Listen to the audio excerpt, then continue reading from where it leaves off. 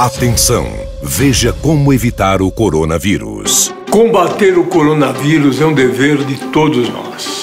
Você já sabe como fazer a sua parte. Lavar muito bem as mãos, sempre. Usar álcool em gel, evitar multidões. Pessoas com mais de 60 anos devem ficar em casa e não sair. Ao tossir ou espirrar, cobrir a boca com o braço ou lenço descartável. E evitar o contato físico. Nada de beijos, abraços ou apertos de mão. Nós também estamos trabalhando. Já temos 100 hospitais preparados no estado. Estamos criando mais de mil novos leitos de UTI na rede pública. Vamos desafogar os postos de saúde e trazer a vacinação da gripe para as redes de farmácias. Boletins diários para todos os prefeitos e prefeitas do estado. Vamos fazer o que for possível para evitar mortes no estado de São Paulo. Todos contra o coronavírus. Governo de São Paulo. Estado de respeito.